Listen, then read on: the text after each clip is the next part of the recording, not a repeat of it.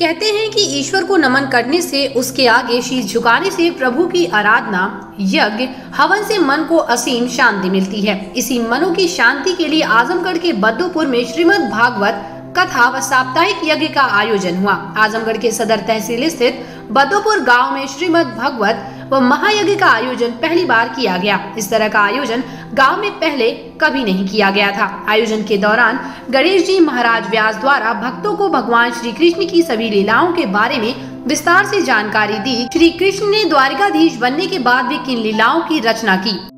कथावाचक श्री गणेश जी महाराज मॉरिशस तक कथा वाकाहन में मशहूर है। मॉरिशस में भी जाकर उन्होंने भक्तों को भगवान श्री कृष्ण की लीलाओं से अवगत कराया है। ऐसी छवि के श्री गणेश जी महाराज ने यह आयोजन आजमगढ़ के बद्दोपुर गाँव में रखवाया, क्योंकि वह भी पावन भूमि बद्दोपुर गाँव के ही रहने वाले हैं। ये पूरा आयोजन एक सप्ताह तक चलने वाला है, जिसमें श्रीमद भगवत कथा व महायज्ञ का आयोजन किया गया।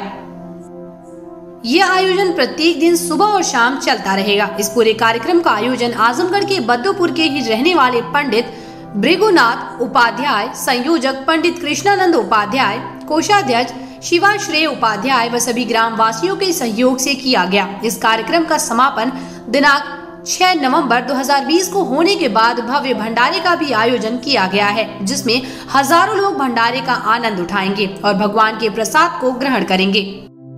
भगवान की अगर कृपा रहेगी तो मैं कह नहीं सकता, लेकिन कृपा रहेगी तो हमेशा कार्य अनवरत चलता रहेगा और जो है जैसा प्रभु की कृपा हो। सीआईबी इंडिया न्यूज़ की सभी खबरों को देखने के लिए लाल रंग की बटन को दबाकर चैनल को सब्सक्राइब ज़रूर करें। घंटी ज़रूर दबाएँ ताकि हमारी सभी खबरों के नोटिफिकेशन आप तक पहुँचते रहें।